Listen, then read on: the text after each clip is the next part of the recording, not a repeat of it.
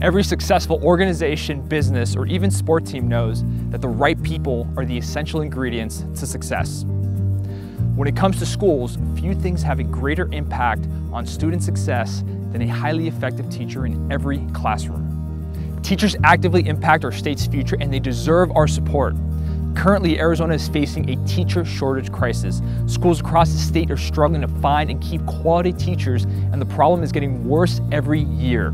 And get this, Arizona's median teacher pay is the lowest in the nation. The national median is about 14,000 more.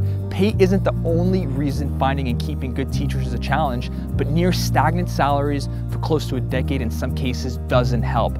Arizona's teachers are doing an amazing job, but too many of them are leaving the classroom because they can't support their families on their salaries. Many work two jobs or use food banks to survive. If we want Arizona to be a place known for the quality of our education, we have to do better.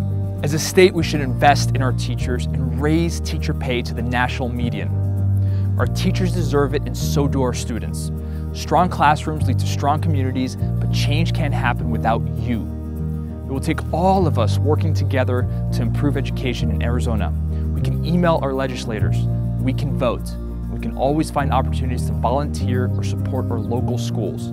Access to a high quality teacher is just one of eight indicators proven to be predictive of a child's success in school and life. Learn more at expectmorearizona.org forward slash progress.